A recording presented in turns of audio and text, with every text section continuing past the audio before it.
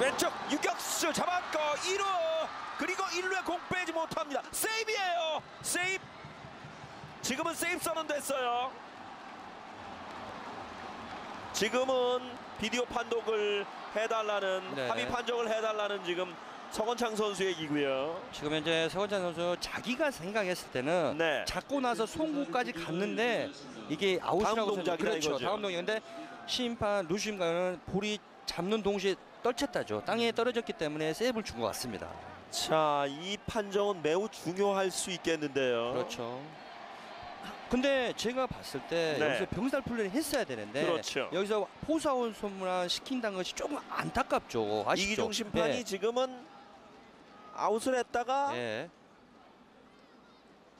지금은 세이브로 전환이 됐어요. 그렇죠. 이준 심판은 자기 아, 발 볼까요? 발, 발을 봐볼까요? 아, 아. 발이 떨어지는 게 보이네요. 발이 떨어지는 게 보이면 세이브입니다. 그러네요. 네. 자, 그리고 음, 그러고는 발질 밟지를 못했네요. 지금은 송구 동작이 아니라 베이스를 안 밟아서 그렇습니다. 네. 타이밍은 먼저 도착했지만 그렇죠. 베이스를 밟지 못했다는 판정이에요. 자 이렇다면 이것도 실책으로 들어간 그럼요. 거잖아요. 맞습니다.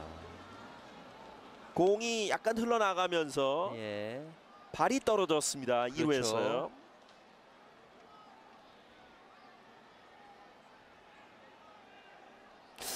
자, 이 부분을 지금은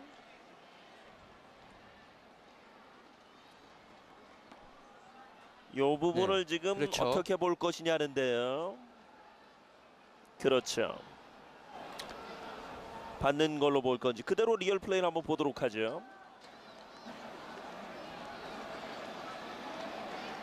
그러면서 서건창 선수는 이제 다음 플레이를 했는데 아웃이 됐다고 생각하고 공을 빼는 과정에서는 공을 한번 흘려서 지금 더블 플레이는 가지를 못했어요.